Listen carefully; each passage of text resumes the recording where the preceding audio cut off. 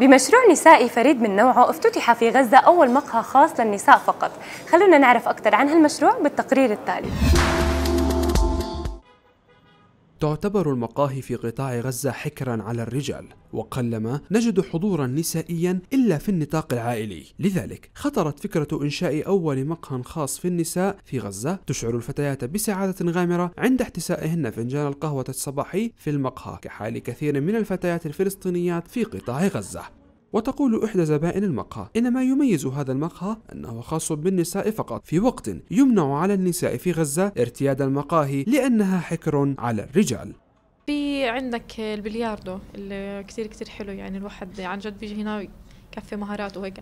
ممتاز جدا. يعني إحنا بنيجي هنا الصبايا بنلعب بالبلياردو. إيه غير هيك يعني في ممكن الواحد يعمل حفلات هنا حفلة عيد ميلاد حفلة تخرج. لأنه مكان معروف للبنات وبس. تعرب السيدة هبة عن سعادتها بافتتاح أول مقهى خاص بالنساء وتقول أنها تعتبر مجتمع ذكوريا بامتياز في قطاع غزة لذلك. لا مجال لوجود المرأة في أماكن يتواجد فيها الرجال بكثرة. جاءت فكرة المقهى اللي هو باعتبار كعملي في نادي الجلاء في قسم الروضة أو مديرة الروضة إنه نادي الجلاء هو مبنى قائم في شارع الجلاء بيتكون من ثلاث طوابق الطابق الأرضي اللي هو موجود في الروضة الطابق الثاني اللي هو جيم خاص في السيدات وفي الشباب السيدات في الفترة الصباحية والشباب الفترة المسائية. في الطابق الثالث اللي هو عبارة عن المقهى وصالة البلياردو اللي هي أكبر قاعة عرض للبلياردو في قطاع غزة في نادي الجلاء.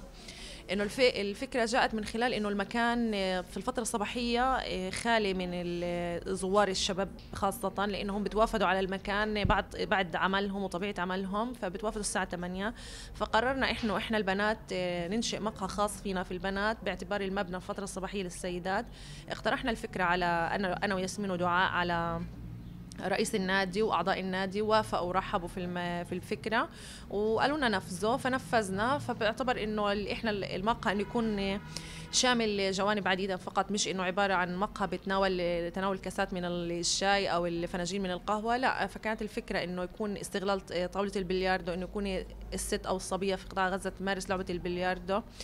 تمارس الألعاب اللي بتكون بتلعبها هي بينها وبين إخوتها وبين العائلة زي الشدة طاولة الشطرنج الظاهر إنه يكون لها في مكان خاص فيها.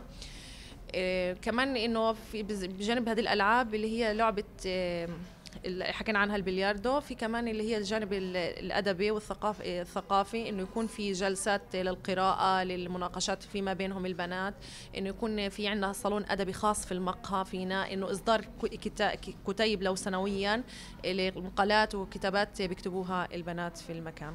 وتشير صاحبة المقهى إلى أن التصرف بتلقائية في الأماكن المختلطة غير متاح للفتيات موضحة إلى أنها لا تهدف إلى تشجيع منع اختلاط الجنسين لكنها تؤمن بأن النساء والرجال على حد سواء بحاجة في بعض الأحيان إلى مساحة من الخصوصية.